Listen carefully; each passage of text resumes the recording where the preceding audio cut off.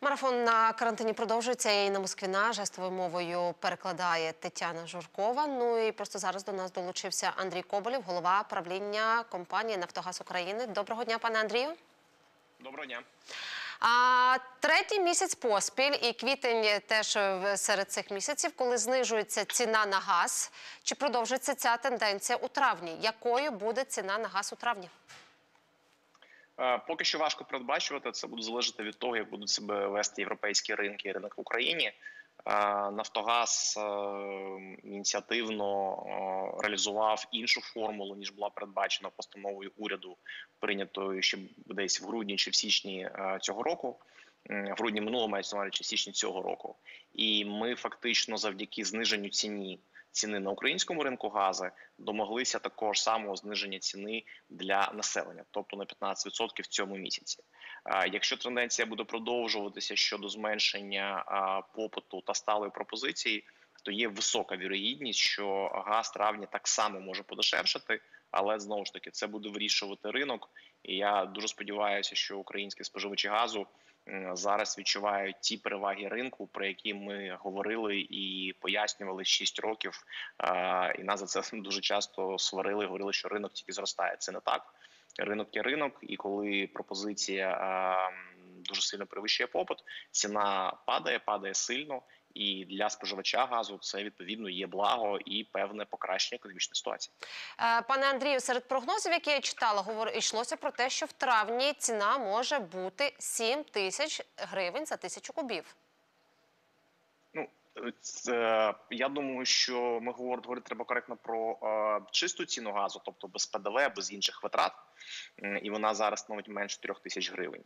Тому я думаю, що треба цими цифрами оперувати, ос- оскільки ще відбулося розділення рахунків, і облгази окремо е, отримують свої гроші, а газопостачальні компанії та виробники газу отримують їх за окремим рахунком. Але тут важливо, що ще прокоментувати з точки зору ціни газу для населення в травні, в червні і на майбутнє. Я думаю, що в травні, на жаль, регулятор не встигне це прийняти. Але для того, щоб ціна збільшилась ще більше, необхідно збільшити конкуренцію за населення.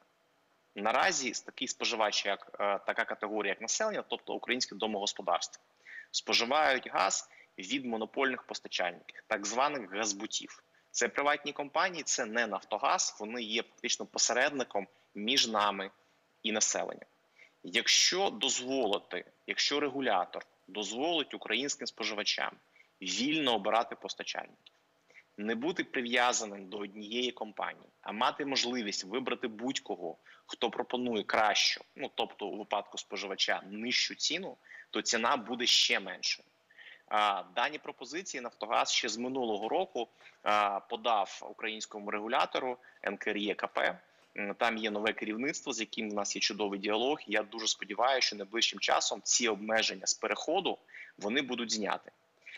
Чому ці обмеження наразі працюють? Ми дуже добре знаємо, тому що є така архаїчна і неправильна норма, яка говорить, що населення, якщо вони погасили якийсь борг і не отримало справку від е, діючого постачальника щодо повного погашення боргу, не має права змінювати постачальника. Так ось ця норма в українському ринку призвела для до зловживань так званими газзбутами, коли вони фактично не відпускають від себе споживачів і заробляють на них надлишковий прибуток.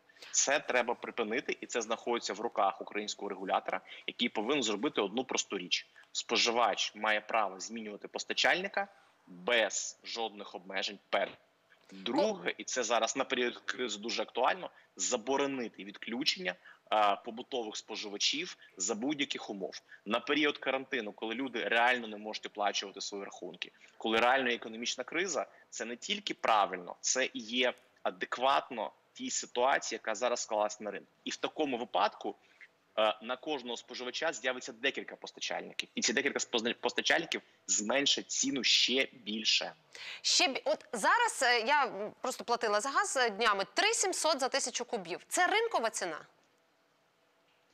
Ринкова ціна зараз трохи менша, і зараз, наприклад, ось проходили тендери, де е, е, споживачі, такі як е,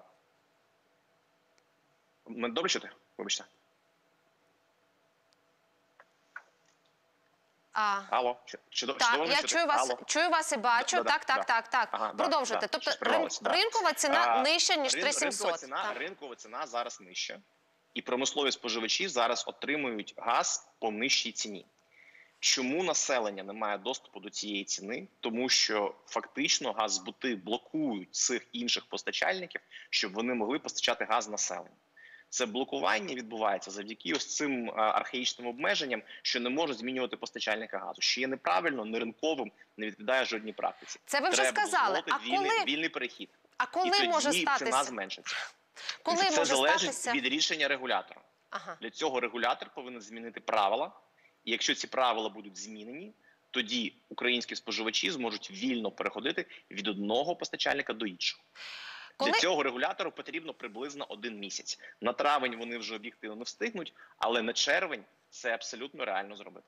Тобто, ми можемо сказати, що в червні можливий ринок газу. Е, Ми вважаємо, що нічого не заважає запустити е, з червня ринок газу для такої категорії, як населення. І При то- цьому Нафтогаз і е, існуюча система обов'язків, так звані ПСО, будуть гарантувати, що будь-який споживач в категорії населення чи тепловик, якщо в нього не буде постачальника з ринку, завжди зможе купити газ або в нас, або в Газбута. З 1 липня і Газбут повинен з цієї е, схеми повністю бути усунений. Не усунений, а щонайменше вони повинні отримувати ресурс з ринку або на ринкових умовах. І таким чином, е, але запустити з 1 червня свільний перехід споживачів абсолютно реально. І тоді ціна може ще бути нижчою, ніж та, що є Так. сьогодні. тому що конкуренція є головним драйвером падіння ціни зараз. Розширення конкуренції в сегменті населення або побутові споживачі зменшить ціну до кінцевих споживачів. Е, Пане Андрію, е, була е, на початку зими, на початку опалювального сезону була така можливість у людей купити газ наперед. Я говорю про звичайних людей, які є, наприклад, як я опалюють газом е, будинок.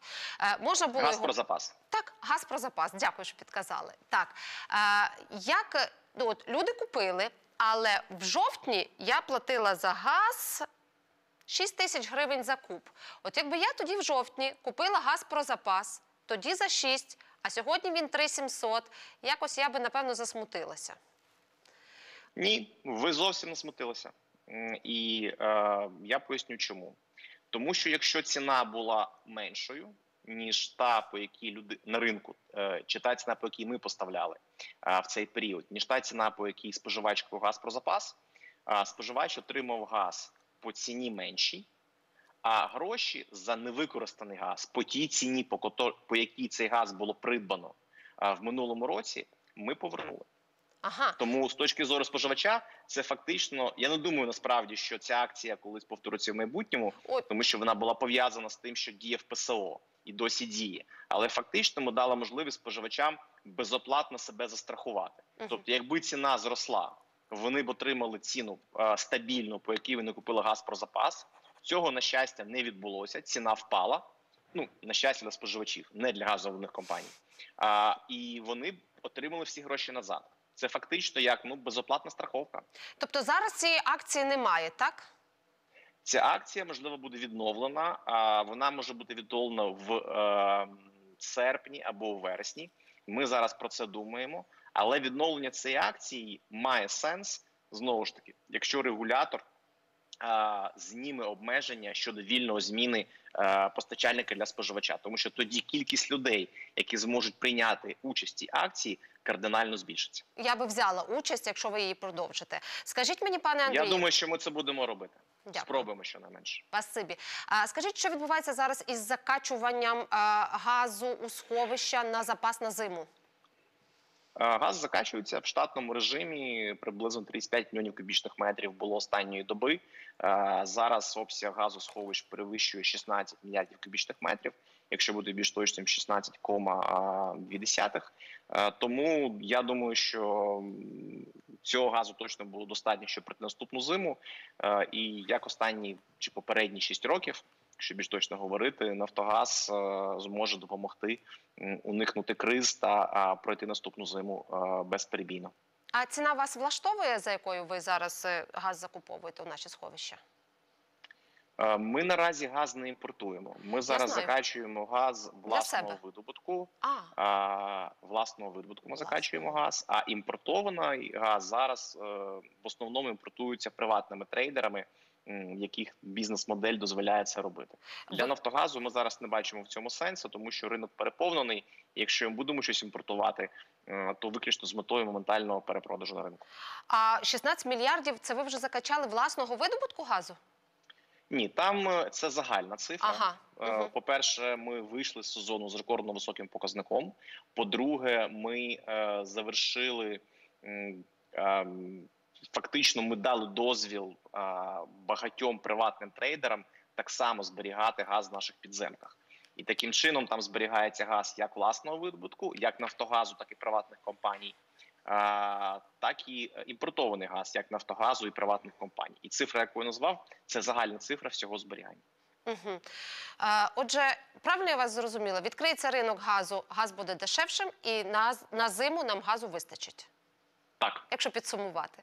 Дякую вам Якщо за підсумувати, і саме головне, щоб це відкриття відбулося максимально швидко, тому що це е, сильно покращить умови придбання газу для кінцевого споживача. Ну, ми всі зацікавлені в цьому. А що? А, а можна якось пришвидшити? Як можна пришвидшити ті зміни, які, про які ми говорили з вами коротко?